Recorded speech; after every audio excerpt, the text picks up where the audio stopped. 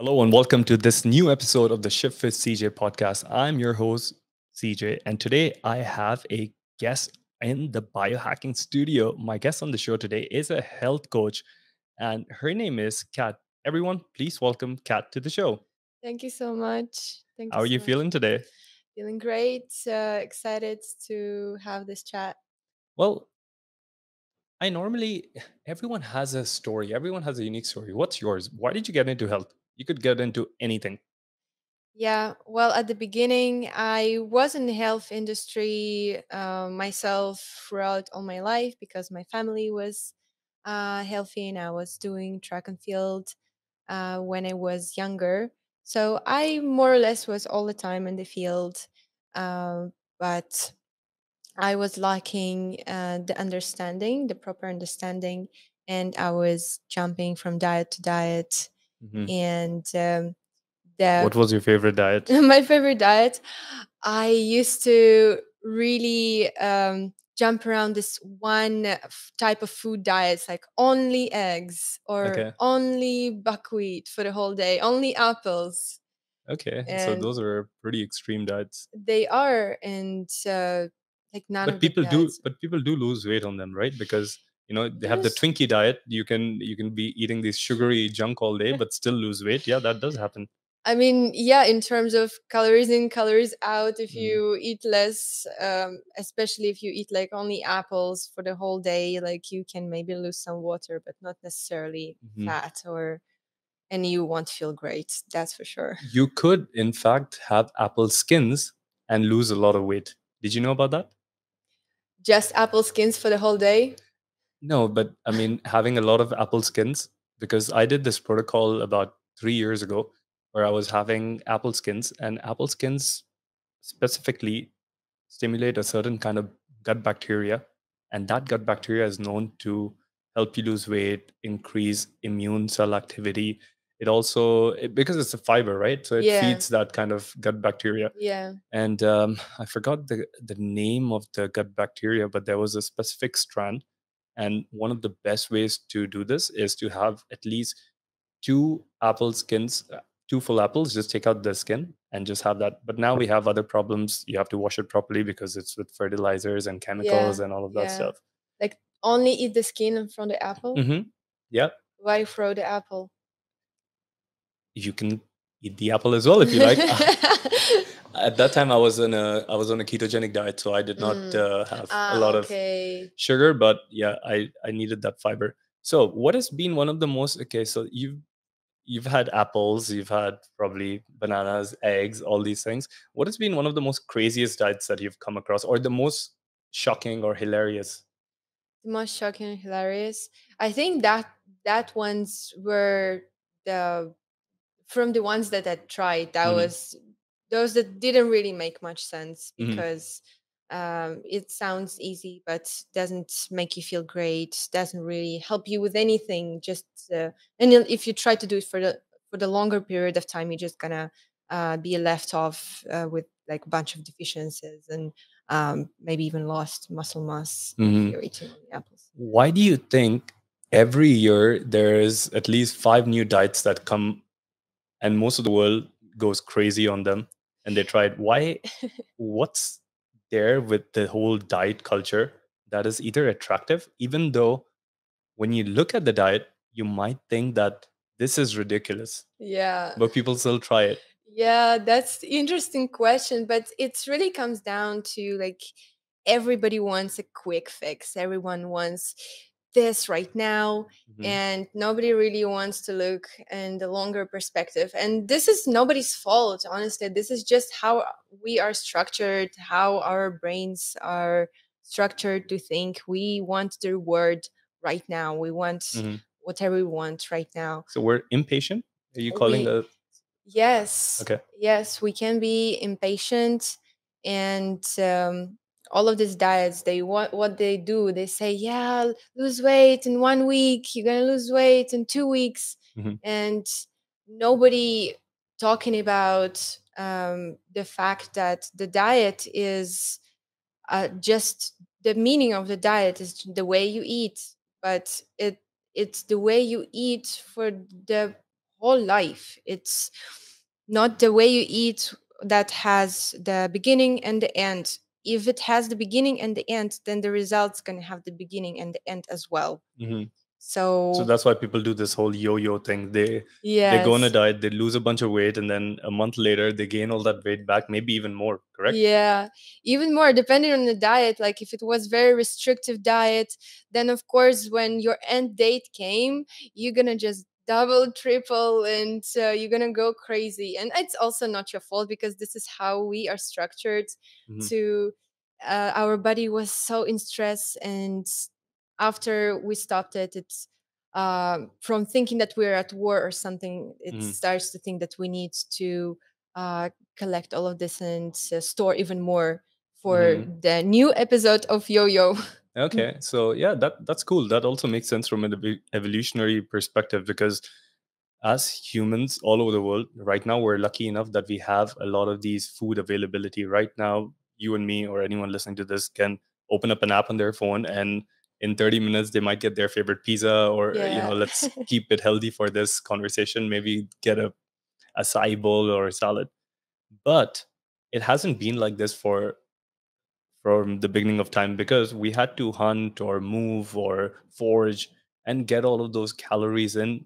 But our bodies would never know that is the next calorie going to come or not and especially in areas of the world where uh, non-tropic areas especially areas where you're from where there is going to be enough the the extreme temperature also doesn't allow us to get enough food and that's one more reason why people put on so much weight because you're right the body is intelligent enough to understand Yeah. that this is the only chance to feast because there might be a famine for a very long time Yeah. correct Yeah, that's correct.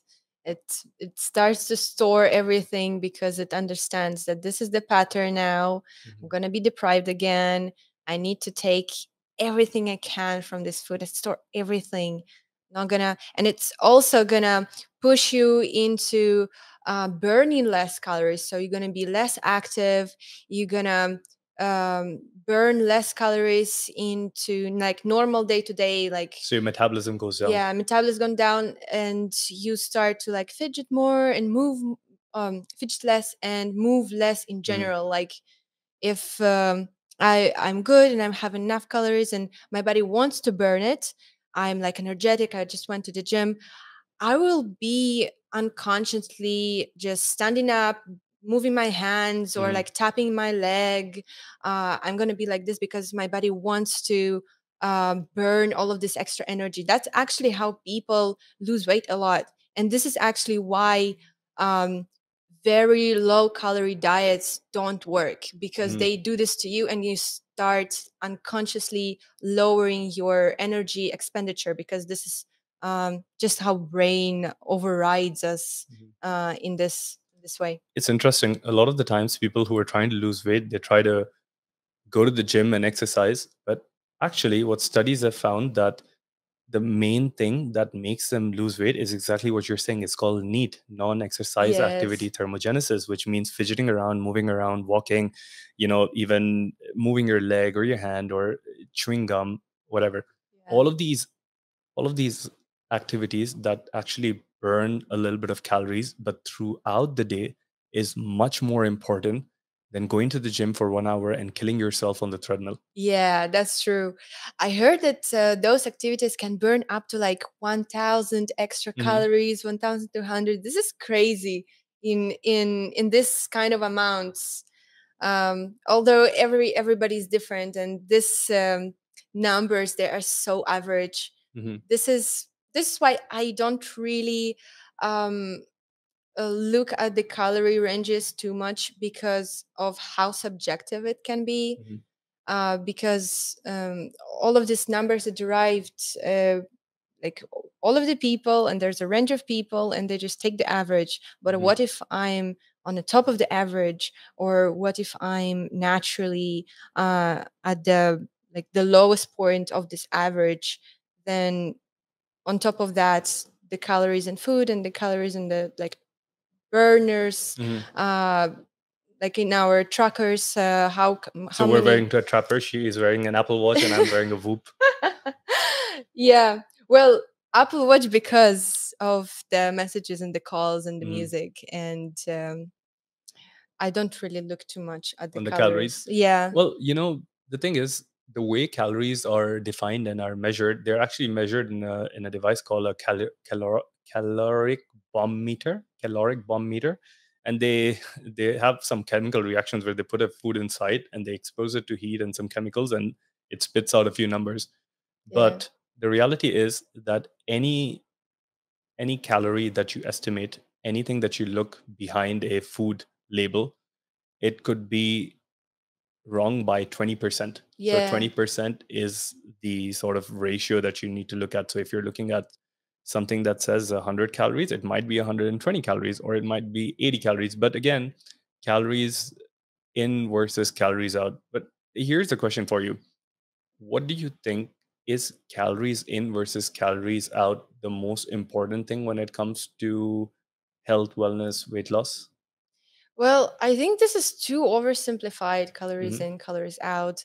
Uh on this basic level this is true that's when you burn um, more that you consume, then you lose weight. When you um, uh, consume more than you burn, then you gain weight. Mm-hmm. Uh, sounds simple, but again, uh, when uh, they measure how much, uh, how many calories there are in food, this is just one uh, measurement where it can go wrong. You know, this twenty mm-hmm. percent, but then how much you burn. So there's like this um, things that are can go wrong are on both sides of the equation on the calories in and the calories out when the mm. in it goes from the food itself from how you digest it how is your metabolism how is your microbiome uh, did you uh, lose weight before mm. uh, did you restrict yourself before um, and then calories out is um, also how is your body burning calories yeah the apple watch and the whoop they're also inaccurate. They have yeah, like a 15% so, uh, so inaccurate.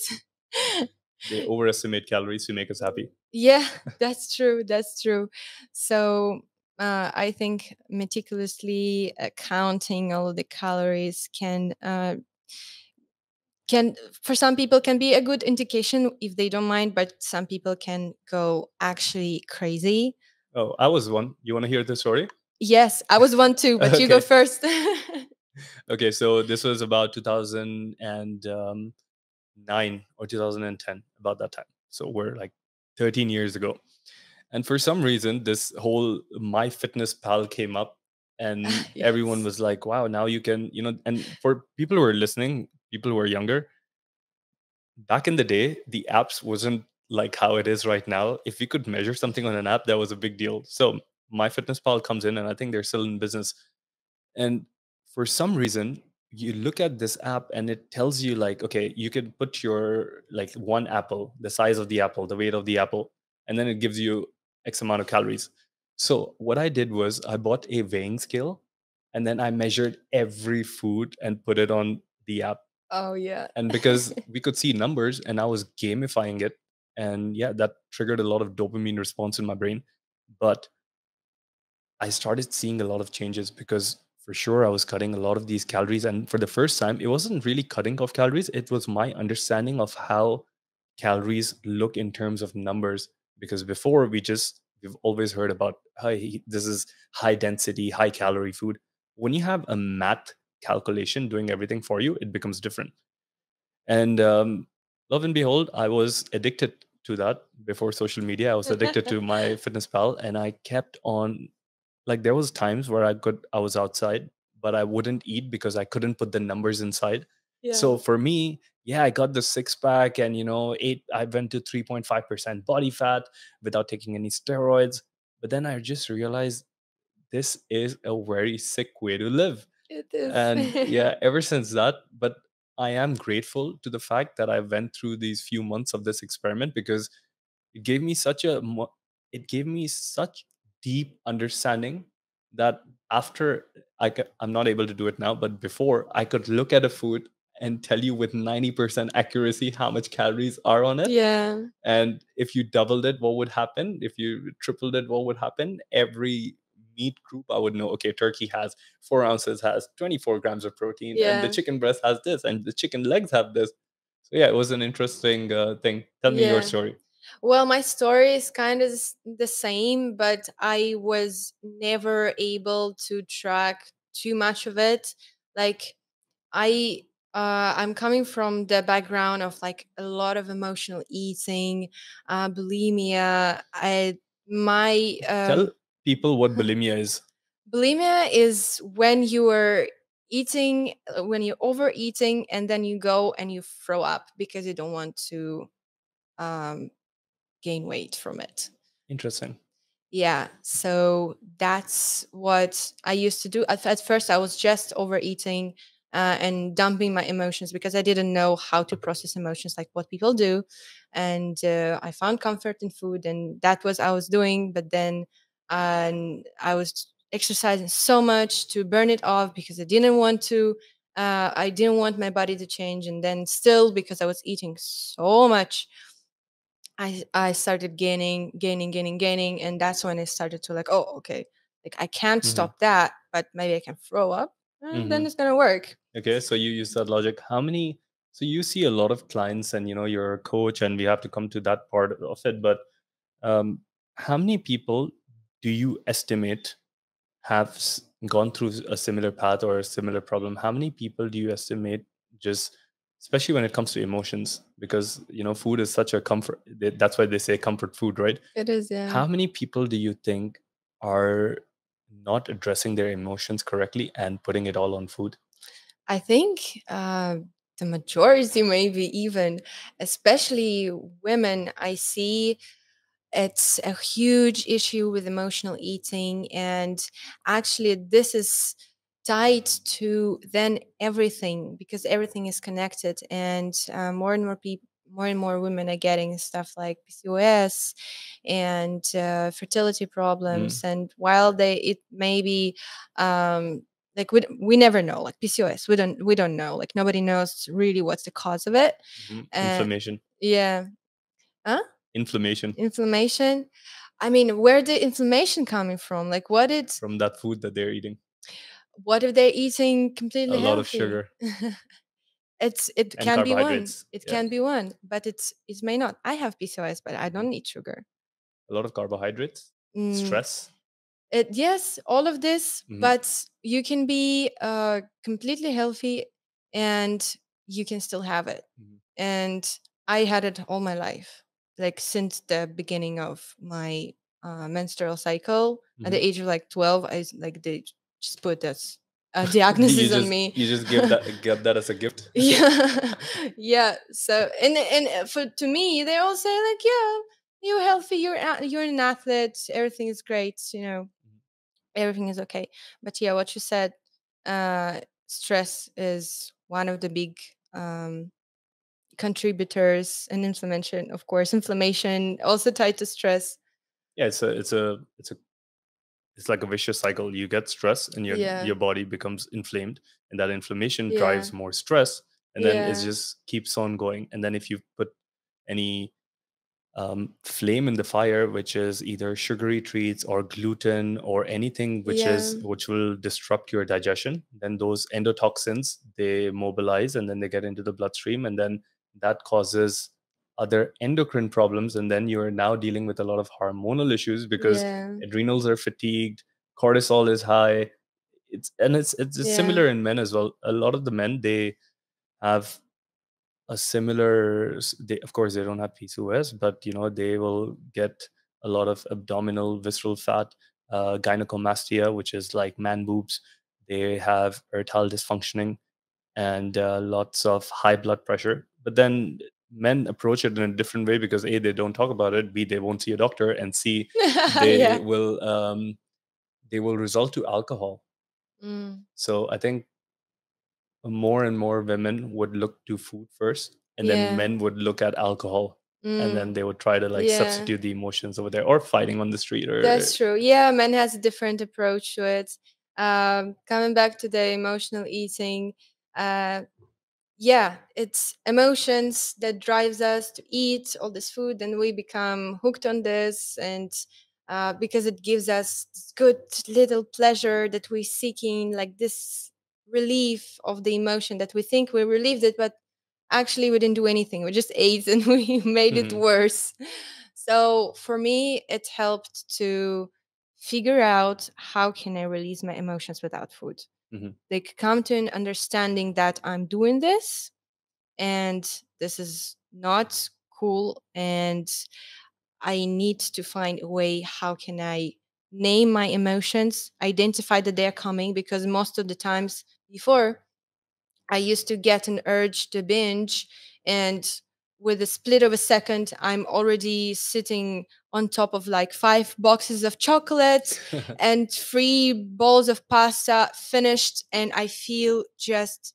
terrible, and I'm ready to like uh, explode because of the amount of food I just ate, and then I cry because because of how how could I let this happen? But Mhm. it it's like a switch like i go black out and i wake up only when it's done Mhm. so when what helped me is to identify when it's coming name the emotion uh, in my practice uh, people come to me with this problem a lot honestly Yeah, tell us what do you do? So if someone is listening to this and they say like, "Oh my god, she's I resonate with her because I have the same thing.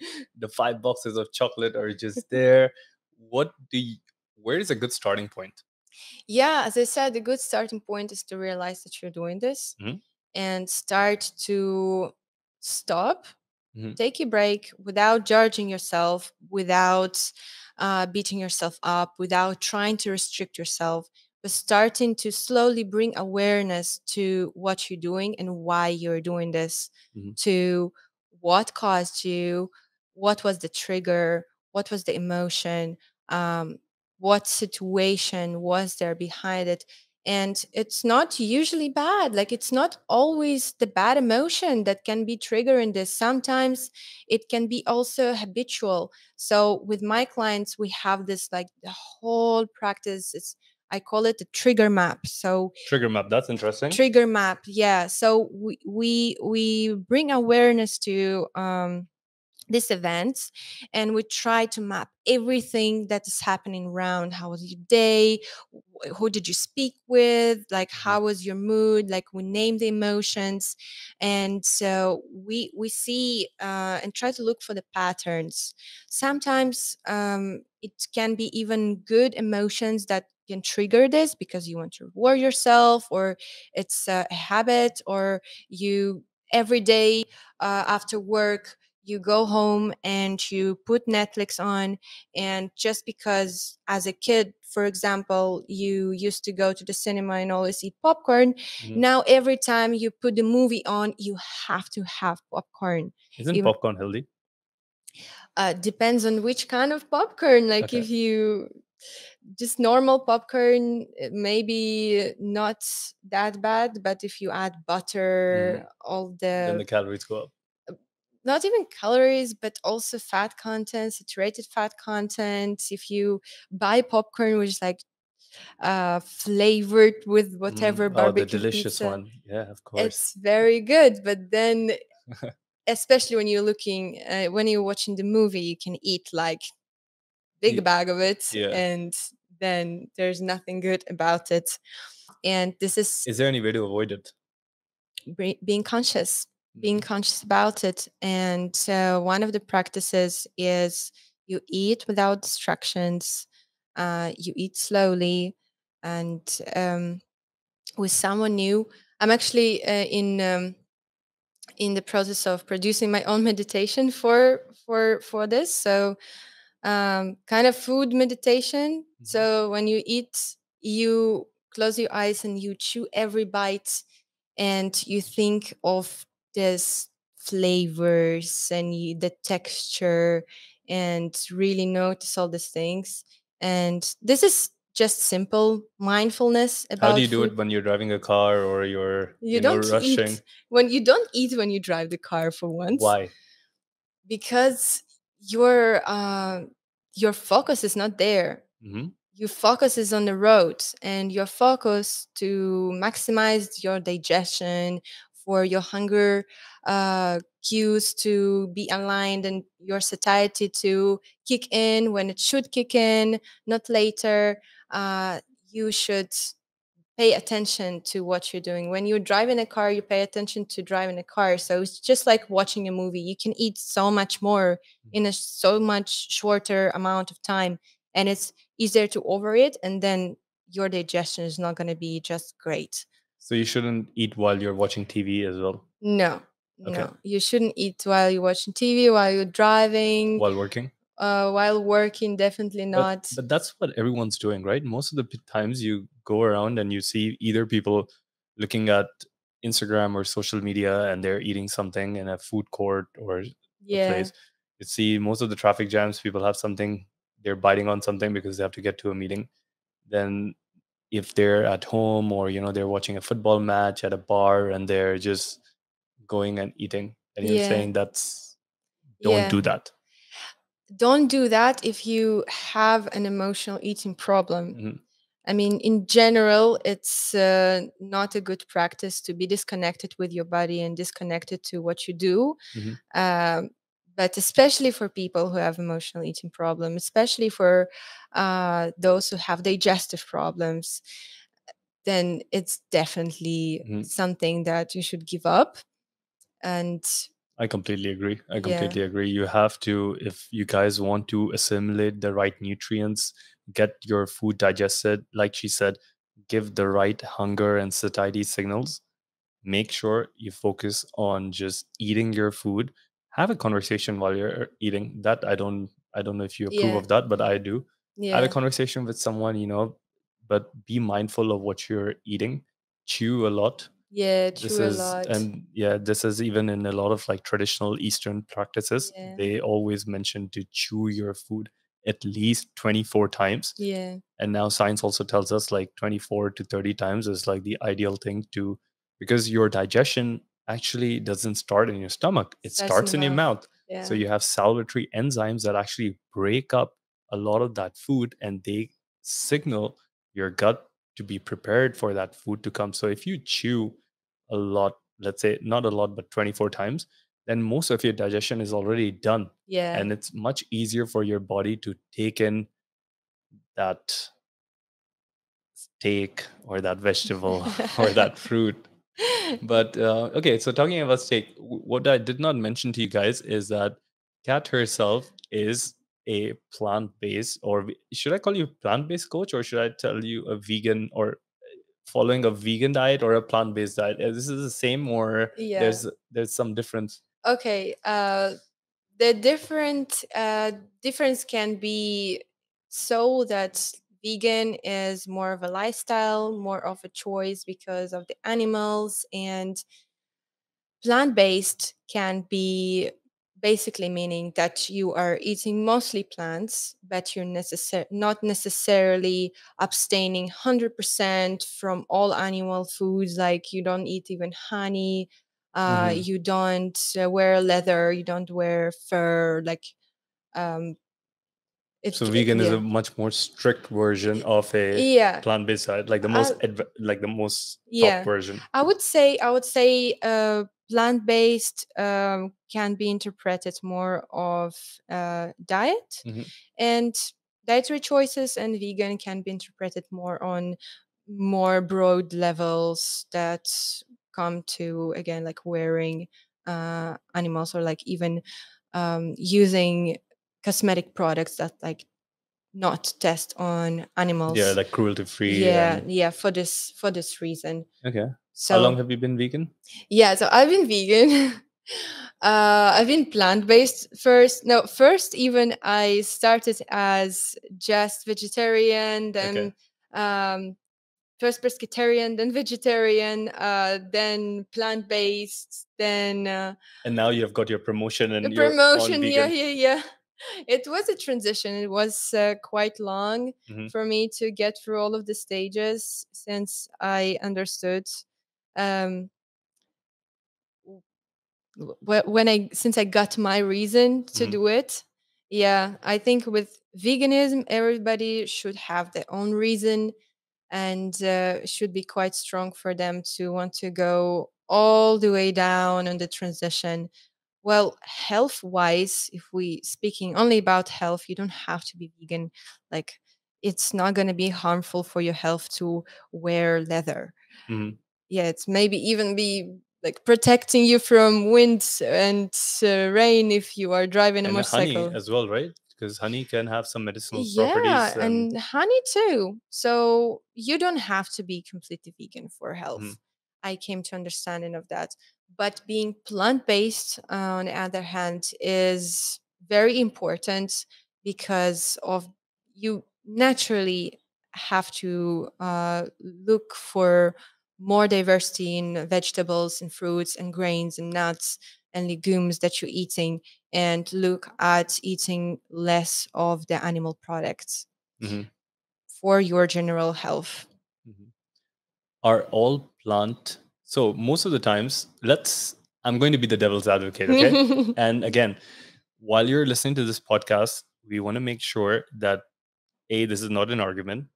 B we both have different opinions that have worked for people that we know or you know in the literature and there's always going to be enough evidence for all cases.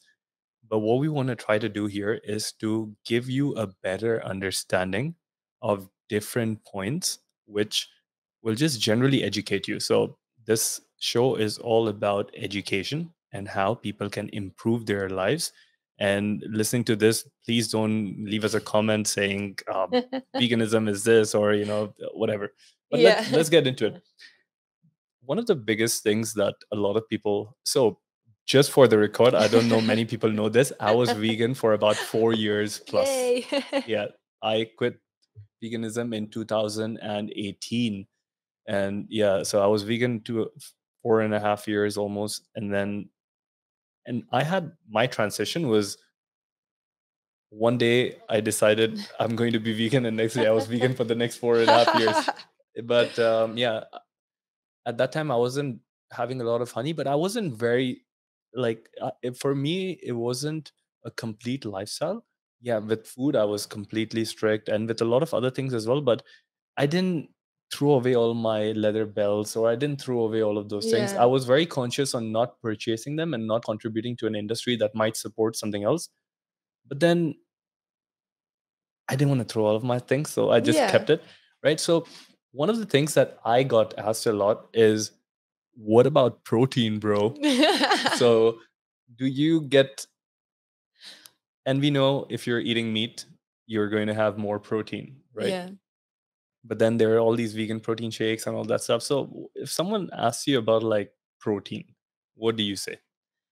I say that you can get enough protein on the vegan diet easily. hmm I don't have any problem with it. hmm Uh, it depends uh, how you approach it. And I think uh, whoever is on the vegan journey uh, have to understand um, the basics of nutrition and balanced diet more than um, somebody who is not vegan because it is very important to have the right balance hmm when you are vegan because um, what happens with most of the people who go vegan they saw like a documentary and then mm they're like okay i'm gonna be vegan and Yeah, game changers. yeah yeah and then they start uh, thinking okay so what do i eat now? Um okay i'm gonna eat like salad leaves and rice and uh, rice with vegetables. Yeah that's Mm. vegan that's cool and i'm gonna eat that like three times a day.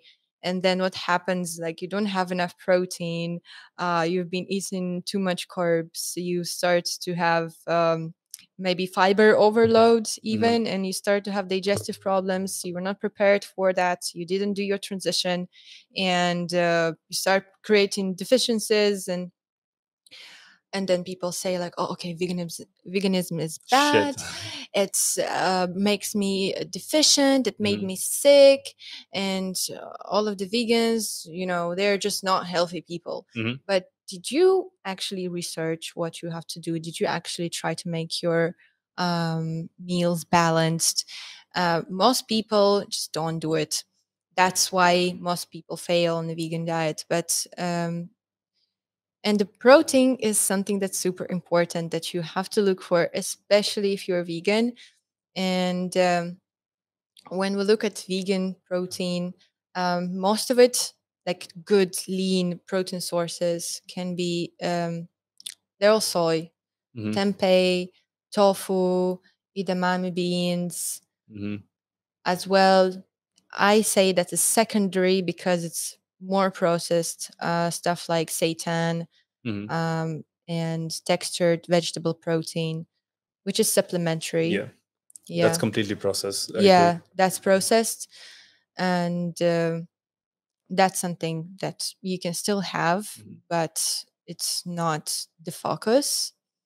The focus is the soy foods and legumes. Mhm. While legumes have also a lot of carbs, Mhm. that's where people get it wrong as well. They start eating just a lot of legumes and then they start Yeah, because per calorie, the um, protein ratio is so less and the carb ratio is so high. yeah, yeah. So there there is protein in legumes, but many people get it wrong that they start eating like a lot of chickpeas and a lot of beans right Yeah. away, lentils, and then they get bloated and they start getting uh, digestive issues as well because they just they never ate it and then they start all of a sudden eat a lot of it and that may bring digestive issues. Even Um, I would say even absorption issues because what happens is in all ancient cultures, legumes, especially like beans and all of these things, they weren't bought from a supermarket and cooked and eaten. yeah, They were soaked for hours, soak, they yeah, were sprouted, and they were fermented. And why? Because most vegetables or most plant matter contain something called as anti-nutrients. yeah, And anti-nutrients are this plant self-defense mechanisms because you know plants have existed on this planet for more more than 500 million years and more than animals and more than humans.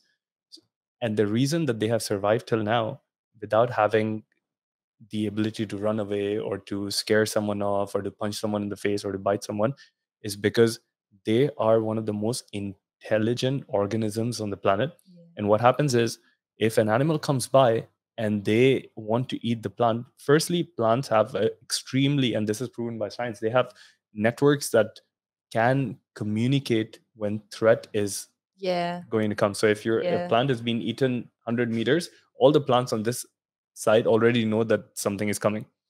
And what they do is they upregulate all of these anti-nutrient systems in their body or in their on the plant and because of that either the plant is very bitter or the plant will give the consumer which is an animal or a human really bad digestive issues.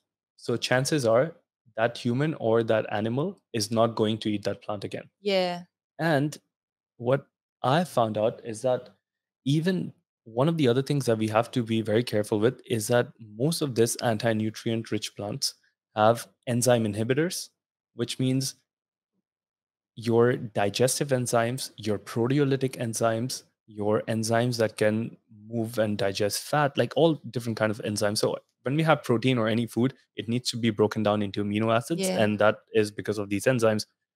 And these food groups have enzyme inhibitors. So most of the time, it doesn't matter how much spinach you're going to eat because it's got an enzyme inhibitor that inhibits iron absorption. That's why a lot of people who have spinach, they'll have be deficient in iron because when they'll eat the most iron, one of the most iron rich foods. A lot of the times people are not able to get you can eat the protein but you cannot assimilate it because it's got proteolytic enzyme inhibitors.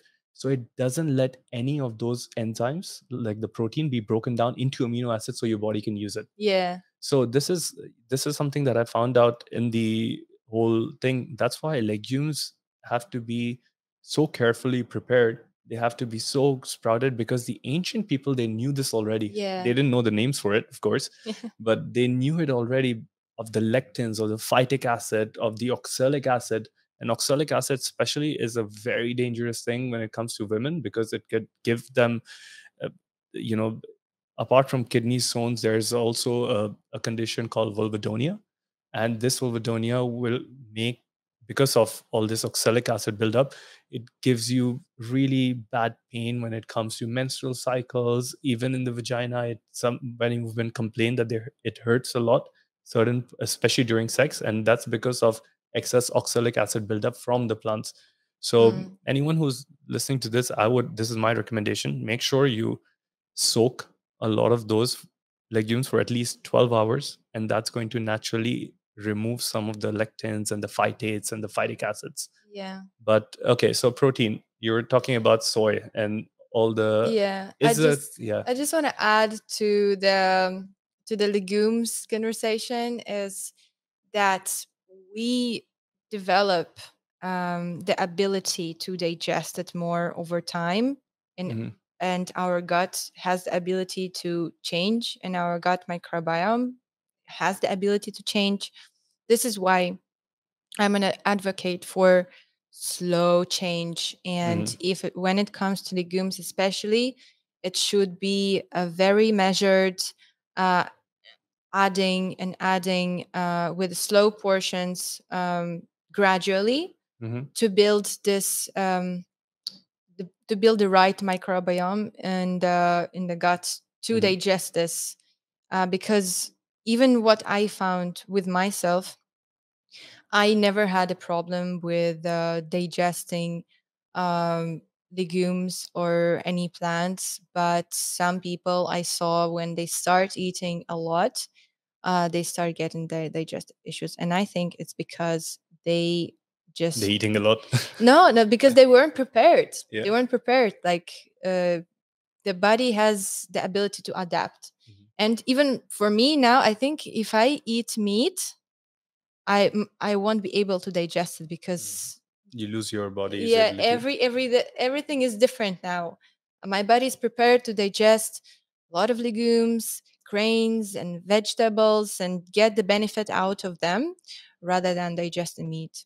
Mhm. So it's all uh, training our body Mhm. as well, and it's gonna adjust.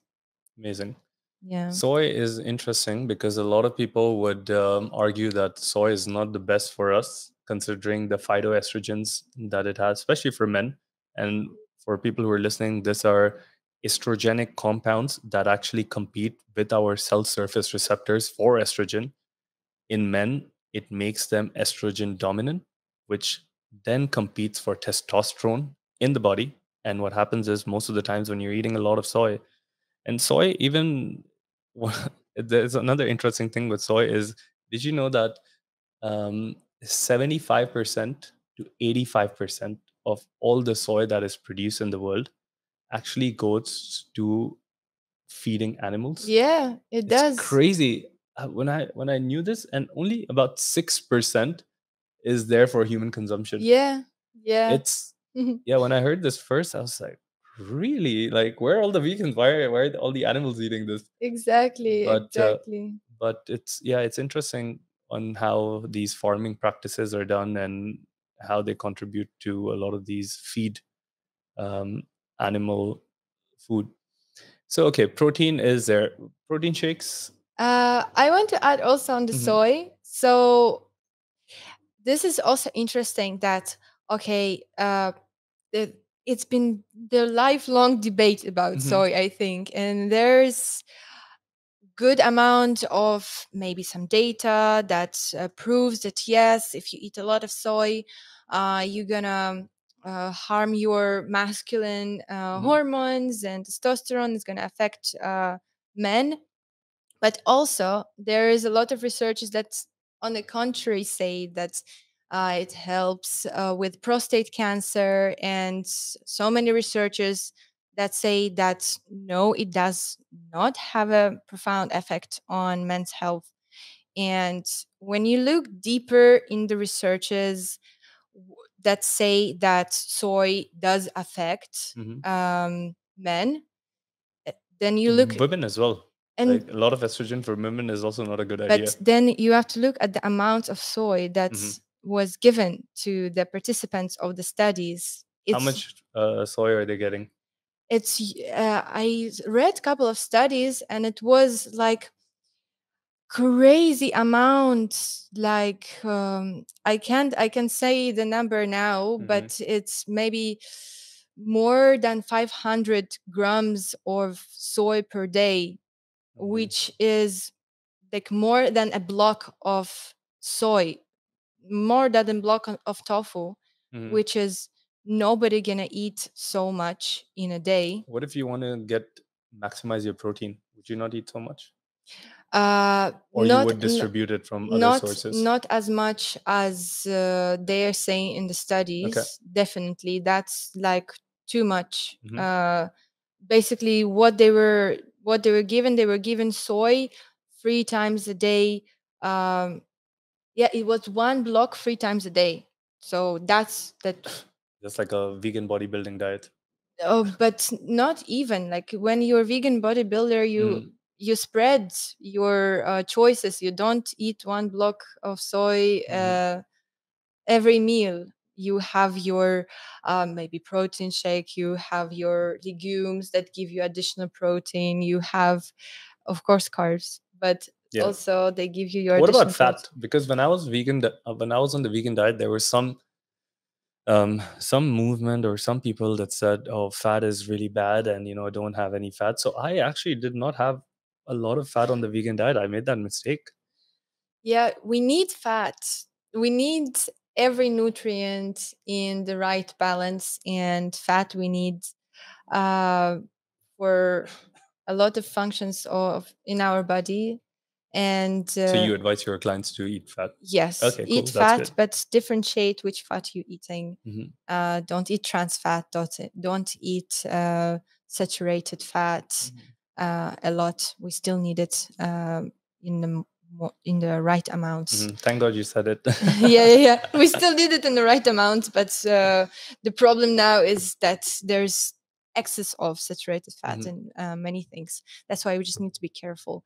Uh, but trans fat, it's something that we need to cancel, and trans fat is something that you can find in like cookies and yeah you don't find it in natural there are no trans fats Yeah, in legumes right yeah, yeah. There's no trans fats. I mean, unless they do something with these legumes, I don't know, like mash it, deep fried. I don't know what Mhm. make it into sausage, then yeah, then probably they're gonna have there's gonna be some trans fats over there. what about deficiencies when i was on a vegan diet i knew that one of the things that i was supplementing with was b12 Yeah, because b12 is normally you get it from animal products. Yeah, but over the last couple of years i found out there are more things things like carnosine creatine dha um, zinc arguably iron.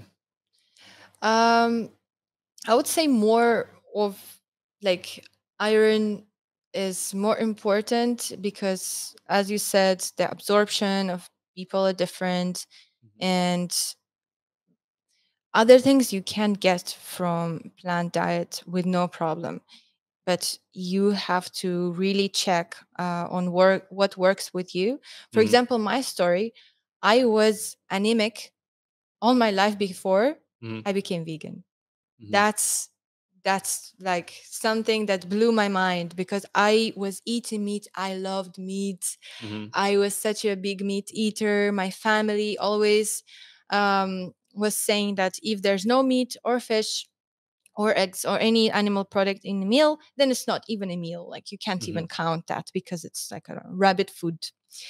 rabbit food i like yeah, it yeah.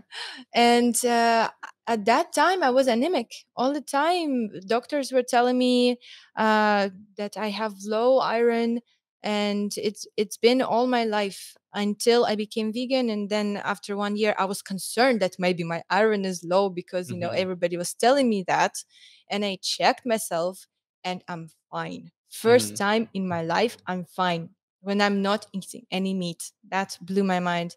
Plus another thing, since the age of um six, I think six or eight, uh, I had like a very bad um, virus, and uh, I had like a heart problem after that virus. Like I was in hospital, and since the young age, I have this heart uh, deficiency. And uh, I was competing in uh, track and field, and I was oh, I had to pay the doctors to let me go to the competition because they didn't let me go because of my heart Yeah. problem. And when I went vegan after one year, I checked everything. I checked my iron. My iron was fine. Checked my heart. My heart was fine. Hmm. What do you think happened there? What was that? Why would you think? Okay, with a lot of these plant matter does contain non-heme iron, so I could understand. And then if you want to enhance the that's a bio that's a hack that I tell people yeah, with vitamin C. exactly. Yes. You do it with vitamin C, and then it works magic. But Yeah. with the heart thing, what do you think happened there? Uh, what I think happened is that meat has a lot of saturated fat that, of course, Mhm. um, it affects our heart. Yeah. And in general, um, in general, uh, animal products can contain other um, things like hormones that they were Mhm. fed and um, maybe some preservatives and things that they put in the meat to make it more more like big more juicy Yeah. The chickens chickens used to be like this small before and now if you look at the chicken like they make it this big Yeah, it's because fed with growth hormone yeah and it- yeah it's fed with all of these things. So uh, when you eat it of course you don't think that's never going to affect you. So that's what's happening. And also in general when you eat more plants uh, you are protecting your heart, heart because of all of the uh, phytonutrients Mhm. and much more vitamins. Plus, I started to eat a big variety of vegetables, uh, So lots of fiber. lots of fiber, uh, legumes that I didn't used to eat before. I never Mhm. ate legumes. It wasn't just like something that we would eat. And I never came across it's not even available in that part of the world, right? Yeah, I mean it's available, but it's not common. Like we don't have any dish with Mhm. uh But I'm saying it's not naturally there in like Yeah, traditions. yeah, it's not really naturally there in like if you Russian go to India, it's culture. everywhere. Yeah, right? but in Russian culture, no. Russian Mhm. culture is uh, very uh, high on like, Meat. meat and Yeah. dairy, and also soy. Mhm. I never knew what tofu is. Never knew what tempeh is. Uh, before I went vegan. So what's tempeh and what's tofu? Tell us. So tofu is like c- cluttered and pressed uh, soybeans, Okay. and tempeh is whole fermented uh, soybeans. So I'm already liking tempeh because it's fermented. It's actually as a protein and as a food, it's the best food you can eat because it's super high on quality lean vegan protein Mhm. and it's fermented so it's super good for your gut it Mhm. plants the good gut bacteria that you need uh, to support your health Mhm. so i think that's what happened to me and that overall, your health just improved. yes yes But there is this one thing that happens to most. Every time you go vegan for the first three months, you feel amazing. I remember my first three months on a vegan diet, I felt light. I lost so much weight. My energy levels skyrocketed. I was even competing, like doing CrossFit and stuff at that time. So, yeah, I remember that first three months, once you get over the discomfort, and if you don't have any cravings, then it looks it's fantastic. And then of course that energy starts tapering down because you cannot be high all the time. Okay, so cool. So we have addressed any other supplements that you recommend taking while on the vegan diet? Anything that Mm, you take personally? What what's your supplement stack? Like you're an athlete, you're um, going to the gym, you're you know training other people. What's your what's your supplement routine look like? my supplement routine look like only a multivitamin Mhm. that's a vegan multivitamin that contains a, subs- a substantial amount of b12 Mhm. and that's it Okay. that's it because i am i think we can get all of the vitamins and nutrients from our diet if we balance it correctly Mhm. and this is what i've seen throughout my i'm already on the sixth year of being vegan and i never took any supplements before I was taking like I was trying to take iron, I was trying to take vitamin C and zinc and like trying to feel better. But and maybe the multivitamin fills it all. uh, that's that's true. Uh, although you know that vitamins can compete between each other, Yeah. and it, you never can get like a whole range of all of the vitamins. Yeah, especially from a multivitamin because Yes. the, the the quantities are so small. Yes. What about magnesium or vitamin D3 or Yeah. anything like this? You take nothing at all? Nothing at all. D free. I go outside to get my sun, and uh, all the other things uh, can get can be get from the diet. Uh, can be obtained from the diet.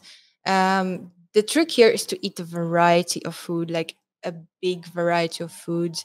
Don't stick to only one like type of foods. I saw I saw some people like only eating like rice, chicken, and tomatoes, Mhm. and like in a different combination every day.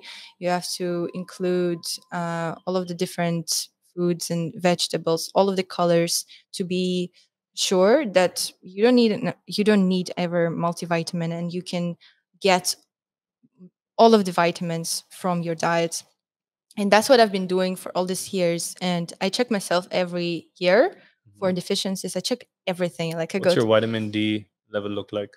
I'm Yeah. just curious. yeah it's all it's always in the healthy range Okay. always in the healthy range and uh, i go to russia all the time like once a year and it's very cheap there so i check everything i can and yes uh, only with the multivitamins it's, i don't have any deficiencies Mhm. Which can be surprising. At first, it was surprising for me as well, but then I understood that Mhm. everything is there already. Like Okay. you don't need um, uh, this huge stack of supplements. Also, because if you're eating enough already, some of them can be even toxic for you. Like Mhm. vitamin A, uh, vitamin B can be toxic if in a big amounts. Zinc can be very toxic if Yep. you have enough zinc. Like uh, and you just randomly start taking zinc because you heard like oh zinc we, we need to take zinc So how does someone get over all this confusion? Because right now, with um, you know, there's a world of podcasting, there's a world of social media where a lot of short content has been pushed, and you know, someone comes in with a study of zinc, and then everyone jumps on zinc. It's Yeah. it's like that diet, right? yeah It's just a modern way of doing the same thing. So how does what what do you recommend when people look at these things? Your clients they come to you. Do you, they have to do a completely blood analysis to look at what nutrients they're lacking and only then they supplement or are those Yeah. are there some supplements that are safe for everyone like yeah what do you think about this I whole would world say- of supplementation and confusion Yeah, I would say that um, a multivitamin can be a good way to make sure that you are not lacking anything. Mhm. Um, it's not a treatment, it's not a prescription. A multivitamin is accessible to everyone, and it contains a wide range of things that you uh, that you can be benefiting from. Uh, a- anything beyond that, uh, I would say consult with the doctor. with the doctor okay Yeah. so Unless she, she has a completely anti-biohacking approach and we're just popping pills all day long just to make sure we're reversing a lot of these things but anyway um let's move on. Does what what's your so you you mentioned that you went to the gym before this. How often do you train? Why what kind of a training do you think is good for everyone? Like what's your what's your thought on training? Yeah, um, I think that everybody should move Mhm. in the way that uh, they like and that suits them. Not everybody uh, needs to go to the gym. Not everybody um, needs. and most people don't like to go to the gym right Yeah, yeah. do you get this all the time like people tell you gym is so boring i cannot go to the gym Yeah, um, you know, people know it, but then the culture of the dieting and that you have to go to the gym to lose weight and you have to do this and you have to push yourself. The culture of this, they it makes them believe that that's what they want and that's what they need. But some people, especially women um, with uh, hormonal issues, have to really look at what uh, type of movement they are doing at what time of their cycle because uh, if you go to your if you go to the gym and try to push yourself to the max and increase your uh, cortisol then you may be suppressing uh, some hormones that you need at the special period of your cycle. Interesting. Yeah for example like when i'm about to uh, enter the menstruation uh, phase uh, i need the progesterone to come and start working so i can release uh, the uterus lining. And if I'm going and I'm increasing my cortisol and I'm stressing so much and I'm which will be from going to the gym and which yeah yeah which will be from going to the gym and increasing my inflammation although like it's a good inflammation but it's increasing the progesterone can be shy and especially if it's already shy naturally uh, how uh, I am like with PCOS mm-hmm. people like me have to be really careful what they do um, even ice bath at the wrong time can scare out the progesterone and uh, be- because of this shock the body is in shock and progesterone doesn't want to come because it thinks that it's not the right time. The the body is not ready. There's something's going on. Something is bad. Something is uh, dangerous out there. So it's not the right time to get pregnant because this mm-hmm. is what this is what the uh, woman body is designed to do is designed to do this so you have a chance to get pregnant. And um, if you are suppressing this if you're giving the, your body a si- sign that this is too stressful this is too dangerous then it's gonna push back and it's gonna start creating this problem so this is before you enter the menstrual cycle. Yeah. So then we look at so does that mean that before so if you know your menstrual cycle will come on the 15th for example a few days before the 15th you don't go to the gym or you do some light training or you just make yeah. your body less stressful whether it's from gym or from um, from your work or some other kind of stress yeah. so the idea is to keep the stress low at this yeah. time the idea is to keep the stress low and at this period of time this is naturally we want to eat more carbs and a lot of women are not honoring honoring this and uh, people who are doing fasting for example this is completely um, it's not right to do at this uh, phase because of this uh, all of the stress and we need to nurture our body more at that time. We need to uh, let uh, make the stress less um, maybe meditate. Uh, if you, movement is good but also the right type of movement. It should be more feminine movement more uh, the movement that's going to support your feminine hormones that, that's going to support your uh, well-being and your uh, lower your stress like yoga like but also um, calmer uh, yoga not like the ones that there's not doing a handstand um, for a uh, few minutes. it, depends on it depends on the body of course depends on what you're used to tolerate depends on what your normal routine is if you never done yoga or any like movement before going uh, to the handstand uh, this time also won't be uh, good for you mm-hmm. but if you're like doing gym hard and uh, pushing yourself then moving to the yoga when you don't have to push yourself too much and you can be in a flow you can uh, breathe and you can relieve the stress then that's going to be the right type and when do you kick on the intensity? Uh, after the menstruation phase finishes. That's that's when we can tolerate the longer fasts. That's mm. when we can tolerate low carb diet. That's when we can push ourselves in the gym. We have more energy we have um, the the rise of the hormones and uh, that's when we can tolerate a, a lot of stress. Okay and generally what kind of a training do you so moving is good but should it be more cardiovascular based more mobility based more resistance based? Or yeah what's your what's your take on that? What do you think? Yeah. let's talk about women for now. Yeah.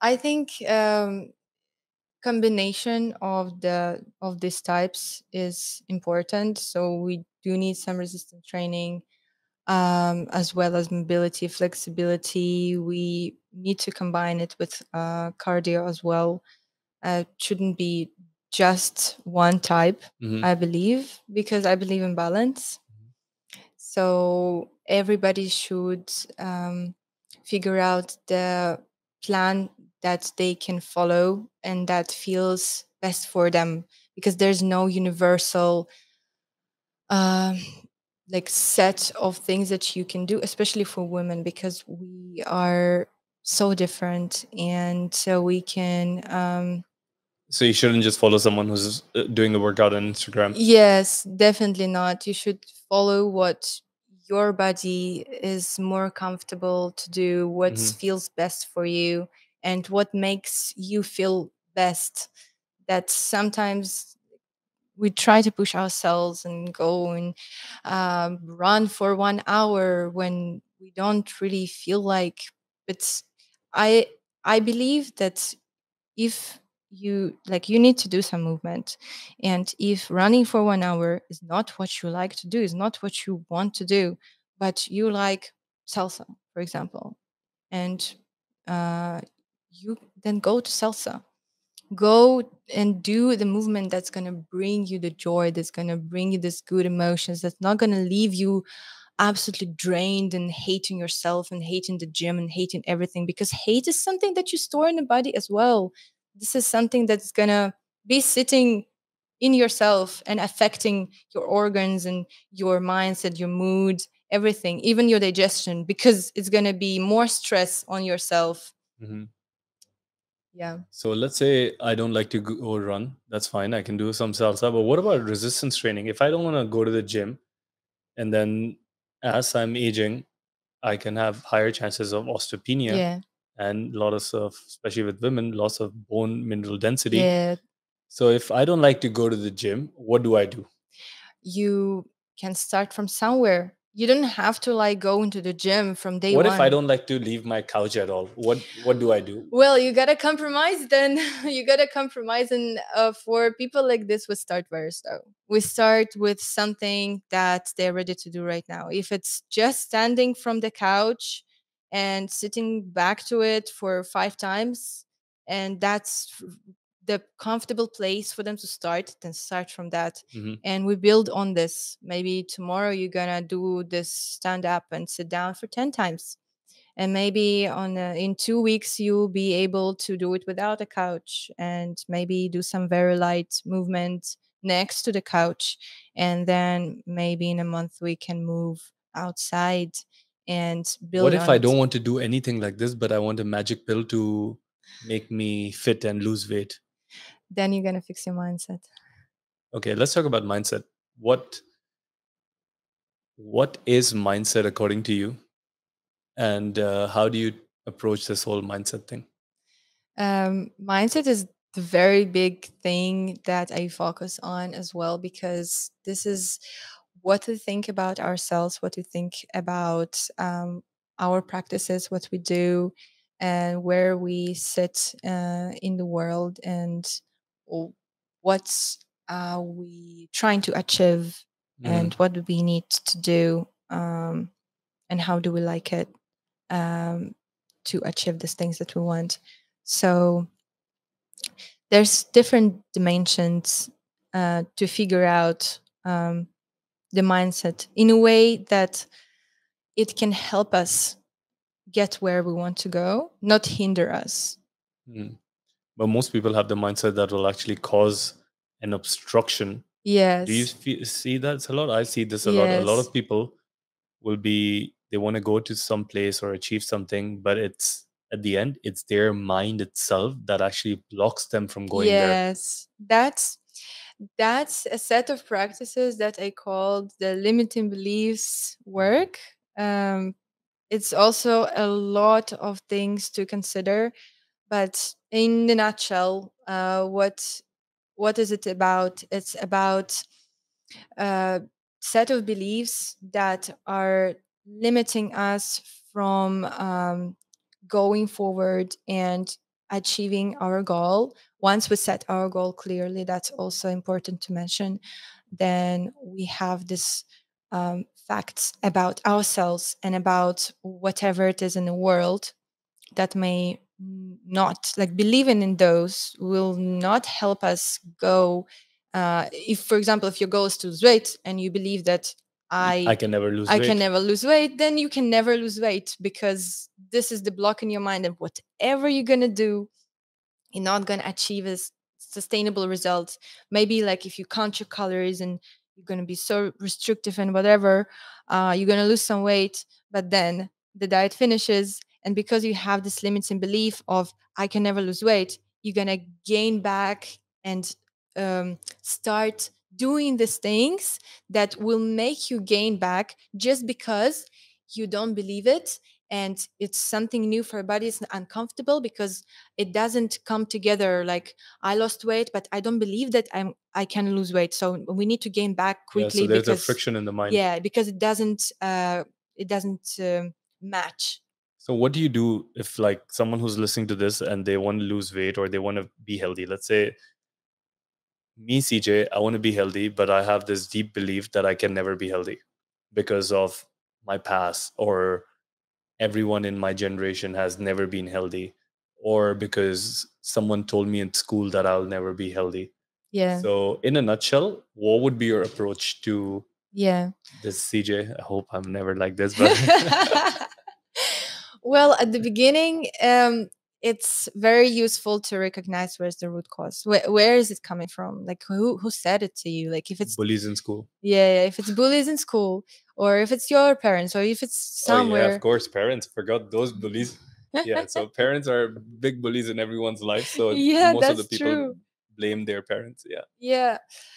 And uh, you have to recognize where it's coming from. Uh, you have to recognize. So it came from the parents. it came from the parents. Okay. You have to recognize that this belief is hindering you and it's not true. Okay, so I recognize that this belief is somehow limiting me. That's why I come and ask for help. Okay, perfect. I've realized that was the next step. You have to you have to find proof that it's not true. You have to find proof. Um, the, you know that most of the people don't even have the like at the beginning. Maybe they um, they they're gonna notice that okay, this is maybe hindering me. But uh, when actually coming to okay, you have to recognize that it's not true. Simple as that. But they're like, but they believe in it. Mhm. How can I recognize? Can we put some electrodes on their health and shock their brains to forget them? I think this is uh, your part of the story. You tell me, can they?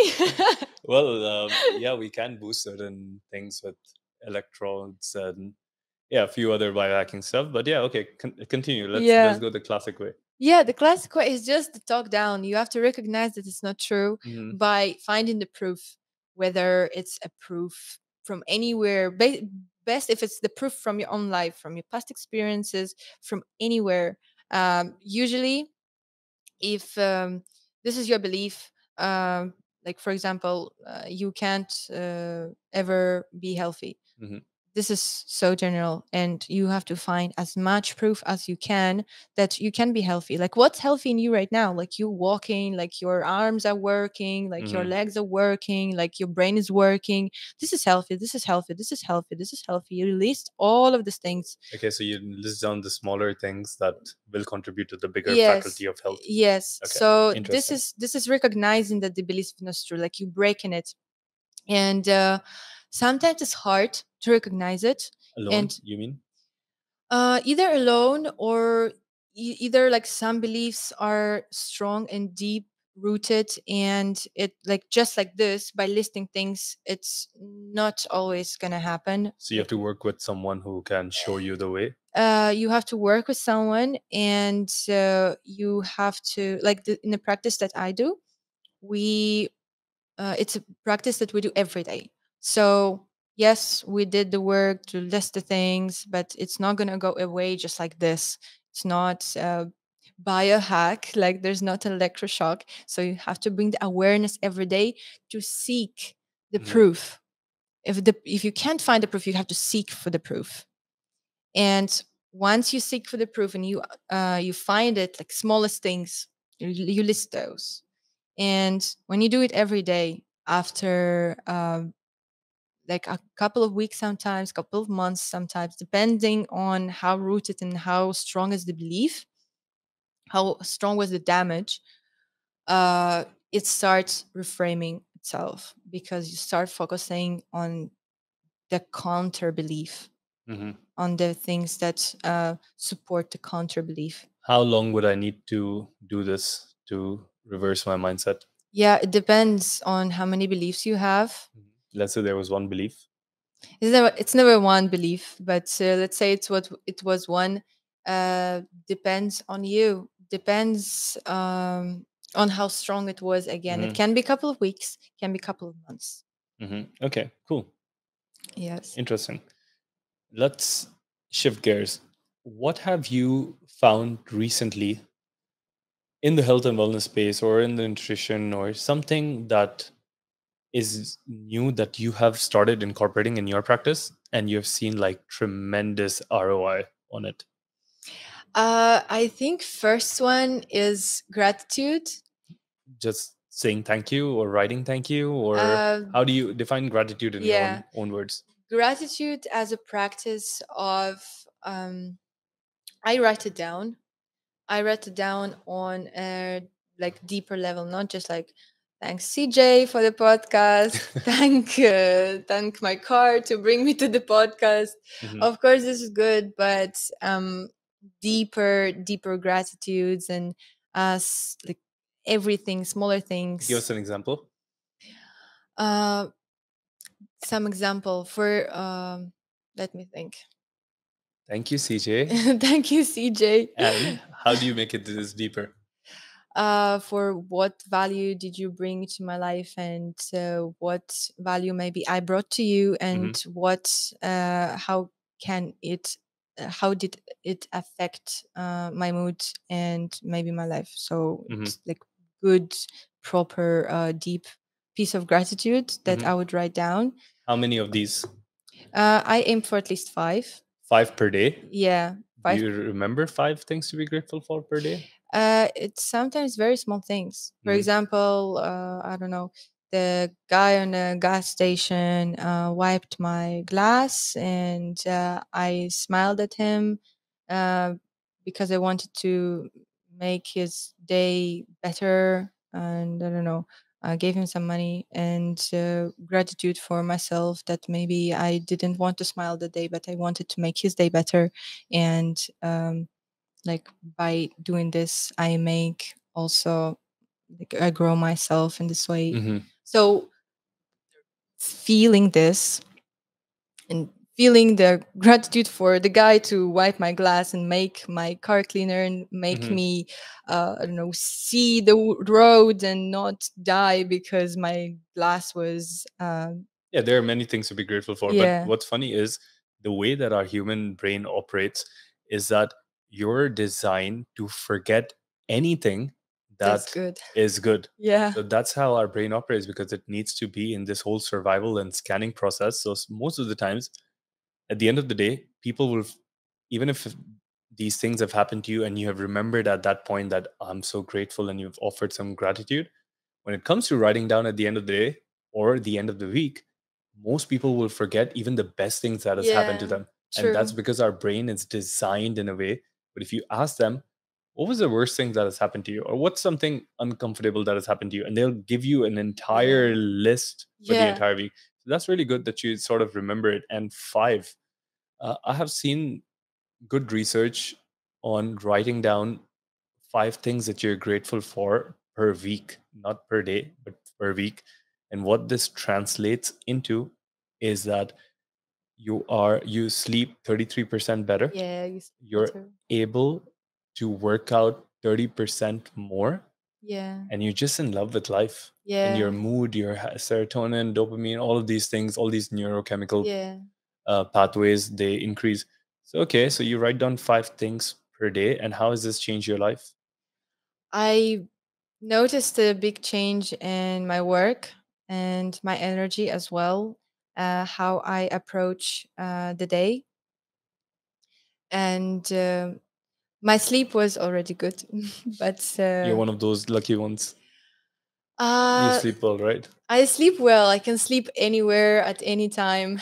yeah and half of the show just are is jealous of you right now well, uh, it's also a practice. I wasn't like this all the time. Mhm. It's so tell us about this how are you, how are you able to sleep easily after not being like that um because wh- why most of the people can't sleep because they overthink stuff hmm uh, like I hear it so much.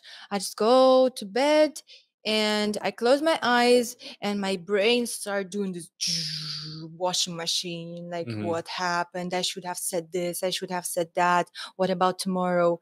And this can keep you like for hours and hours and then you're gonna be anxious because oh my god i'm not sleeping i have to wake up so early why can't i hmm sleep? And you become even more anxious and that's how insomnia starts many people. And um, so what you have to do is to learn how to let go. That's main uh, hack. Hmm And how do you how do you let go personally?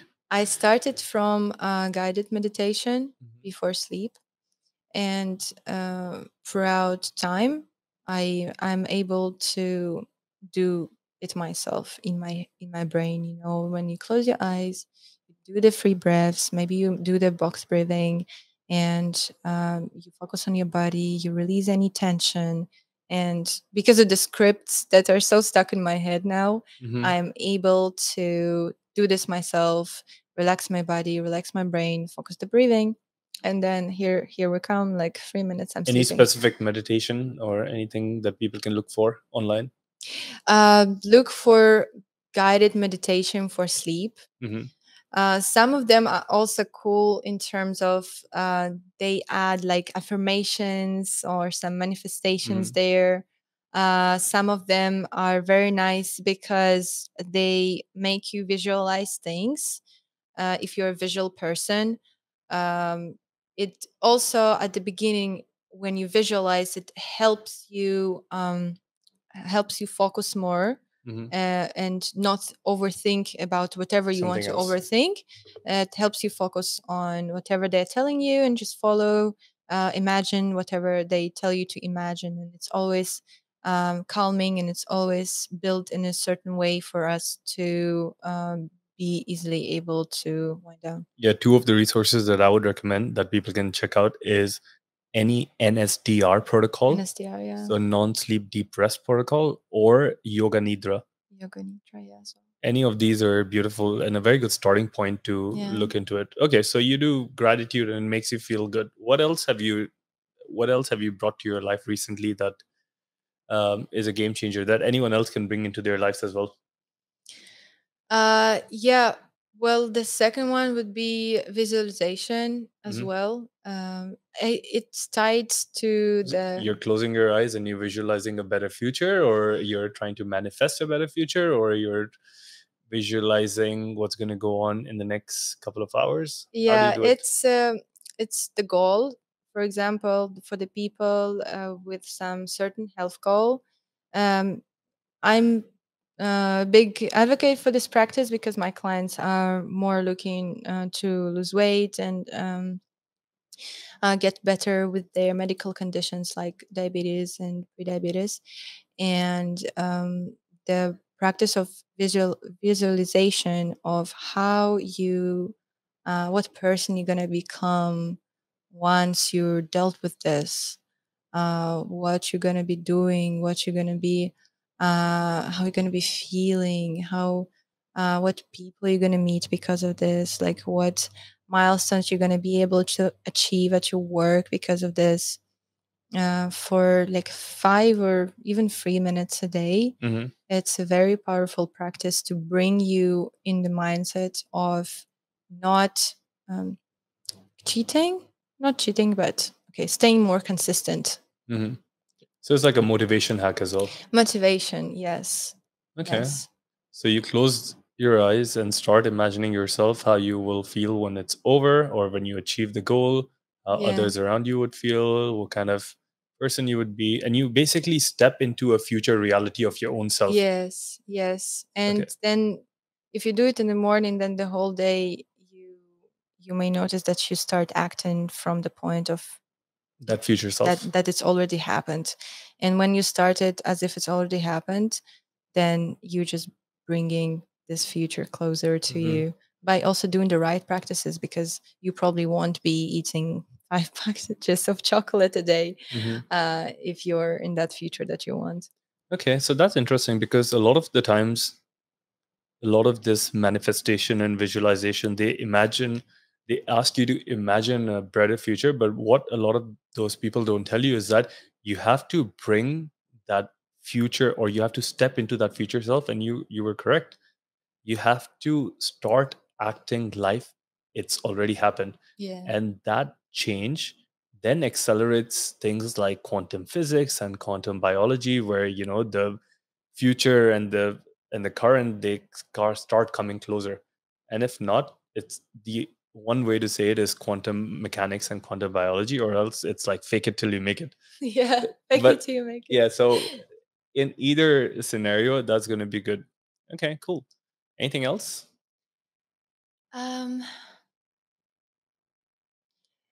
yeah, at this point, um like from the recent ones, I love that she hasn't mentioned any vegan superfoods till now, but we're talking about visualization and all of this stuff. Uh, because uh, my work is a lot on the mindset this is what i understood because mind governs everything our Mhm. thoughts uh, creates our action like create our experiences and uh, create and uh, create our um, what we do affect our actions if Mhm. we don't think of the action first we're not going to do the action Mhm. the right action maybe we're going to do uh, as part of the behavior maybe the Some wrong compulsive action action. yeah some wrong action that's Mhm. not going to bring us to our goals so if you want to be consistent and if you want to reach your goal uh, then mindset is important thoughts are important all of these practices are crucial So, like, even that means to bring all of these things into action. Of course, you can read 10,000 books on it and, you know, you could hear a lot of podcasts, but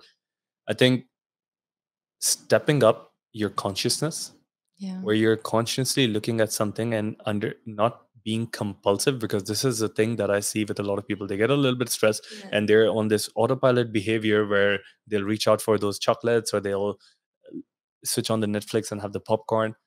But if you take some time to take a step back and look at the situation and you know that you are driven by a set of comp- compulsive memory and it's just your body repeating that memory again and again and again.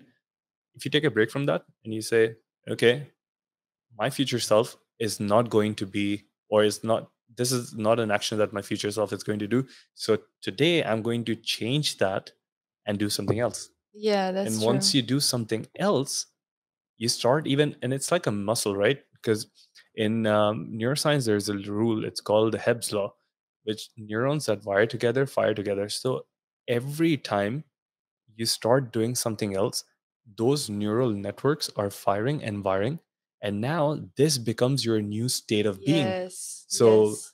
this is this is fantastic.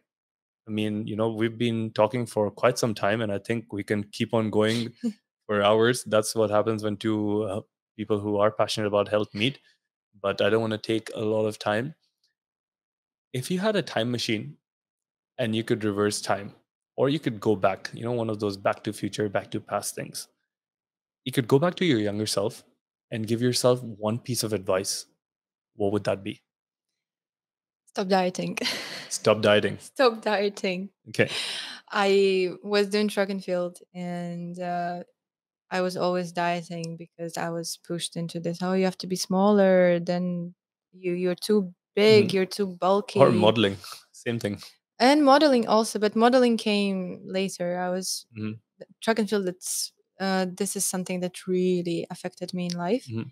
and uh, i was that's why i was always trying to lose weight i was like yay if i'm lighter i'm going to be able to fly you know because i was doing the long jump i was be i will be able to be um in the in the air more so i'm going to be uh, jumping um longer if i'm Mhm. more light but i was missing the point that i'm not going to be have enough power and strength to do the push to Yeah, actually put myself up in the air except of being just light and in the air Mhm. so it's not about that and i wasn't told that and i was trying to diet and um, i was really um, stealing my results from myself because of this Okay, so younger generation, Generation Z or Y, or what's the latest generation called?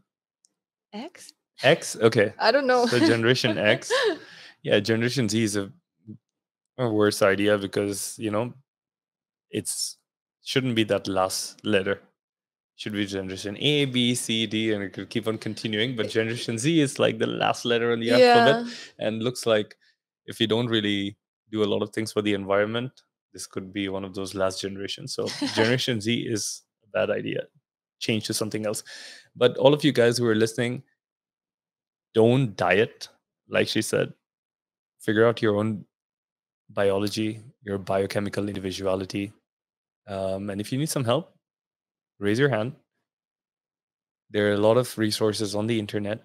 You can reach out to people like Kat who are in this field to help you out because she's gone through, like you've heard on this podcast, she's gone through her own set of journeys, figured out what's the best way to hack it. So now you don't have to go through the same thing. I think this hiring a coach, hiring someone who can mentor you, having someone who can guide you through something only because they've gone through the same thing themselves is the biggest biohack that you can have because this just cuts short a lot of sufferings, a lot of trial and error. I mean, if I could just imagine if I got a coach a long time back, my life would be, I would be 10, 10x, not 10 steps, but 10x ahead. But again, everyone has their own life journey, but don't make it hard um, because that's that's a very linear growth. And with humanity and with the way things are going right now, we don't want to achieve a linear growth. We want to achieve an exponential growth. So if you want to grow exponentially, hire someone, hire a coach, get a mentor, read, self educate, do something. And if people want to get to you, what's the best way to get in touch with you? Uh, I do have a website where you can um, fill the form uh, to me to contact you and settle our um, free initial talk. Oh, you get a free initial talk. That's cool. Yes. So what I- happens in this free initial call? The initial consultation is for us to get to know each other, for me to dive deep uh, into uh, your situation, uh, your story, um, give you some insights and recommendations, and also explain how I work and discuss on how can we agree on working together Mhm. because there is no one also universal way I work with people Okay. uh, there's stuff that can be added, removed, and the program is completely customizable and individual for everyone. hmm That's why the initial call is important to agree on all of these things. Okay, cool. Perfect. So if you want to get a free initial call, what's the website again? Website is healthbykat.com. healthbykat.com. We're going to put it in the show notes so you can get to it easily. Any other ways? Instagram, uh, Facebook? Uh, Instagram at healthbykat underscore. Uh, you can also DM me there, and it's Okay. going to be basically the same thing. All right. So website. go to the website. It's easy. Held by cat underscore is the Instagram. Held by cat.com is the website for you guys. And um, Kat, thank you so much. I had an amazing conversation. This was fun. Thank you, CJ. Of course, my gratitude to you. and uh, my gratitude to all of you for tuning in, spending some time with us, understanding more about your health, being curious. I really appreciate Kat and I really appreciate all of you guys who are listening to us right now. Everyone, have a great week.